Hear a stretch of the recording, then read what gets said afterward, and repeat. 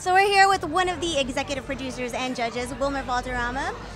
First of all, we have to ask, why put together a show like this?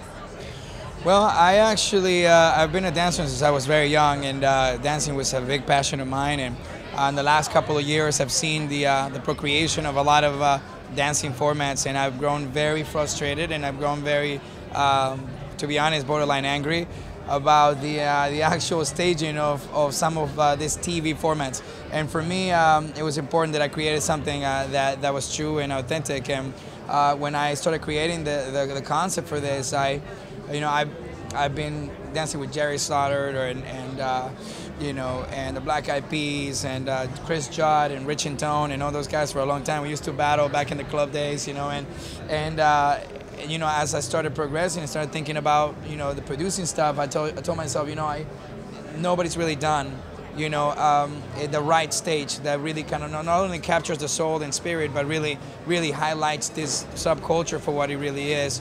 Um, I like to say that we are the uh, we are the FU show to uh, to all those dancing shows on the networks. We don't have a choreographer in the behind the scenes making sure that we're TV ready you know, this is as raw as it gets. You know, these guys are out there battling for survival and battling with the with the arsenal that they that they've so perfected throughout so many years of practice and uh, and competition. So for me, I could not be more proud to be the creator and executive producer and, and now judge of uh, easily probably the biggest uh, stage for b-boy.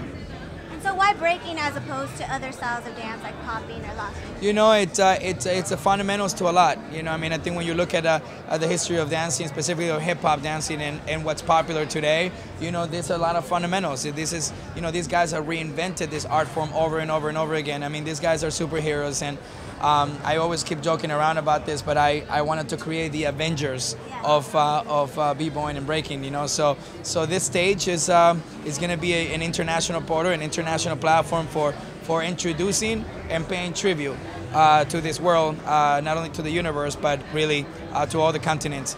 Putting this online and doing the most iconic web series that is ever created for this for this sport slash culture slash subculture slash religion.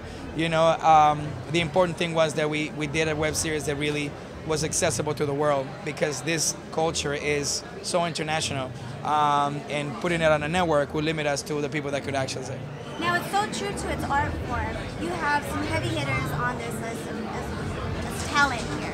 How did that selection of b-boys come in? Well, I got to get a lot of a lot of credit to my boy Flips. You know, I'm sure all you guys know who Flips is. And Flips was, uh, is the head casting director of, uh, of our of our of our show. He put together an amazing group of people who are, you know, the first dynasty for King of the Floor, and uh, and excited, you know, excited because Flips did, did his thing. He specifically brought a, a team of people that are going to go against each other to really introduce this culture. And this first season is the most important so far. Uh, um, and I look at the seasons ahead. This is really the breaking ice. You know, this is the one, the one that's going to introduce our world, our culture, this this this this underground world um, to the mainstream on a level that they've yet to see. And that's why everyone that's in this first, you know, batch of goods, you know, it's uh, it's um, it's history for everyone. Now, I have to take notice of judge here. What's some of the criteria that you're looking for? We're looking. I mean, we're looking for all the above. You know, I think that technique and Zulu and I were we're thinking about uh, specifically, you know. Uh, you know creativity but most importantly you know your ability to to counter you know what i mean your ability to to follow the song follow the beat you know one thing is going after doing acrobatics and the other thing is not understanding or really going for for uh, culturally what what this sport is and uh, so no we're very excited because i think the criteria is going to be very dead on we're not we don't have a conventional judging system. We're not gonna have numbers. We're also not gonna leave it to the audience. Who do you think won? Like that's not us.